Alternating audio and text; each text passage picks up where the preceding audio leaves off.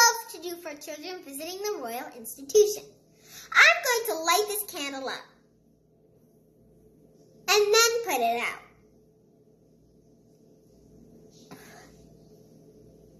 This is a clear demonstration of the fact that the candle burning process is a chemical reaction.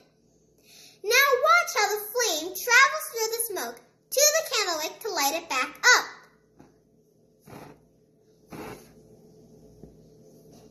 This works because some of the wax in the candle evaporates and is still part of the smoke causing the flame to travel back through it.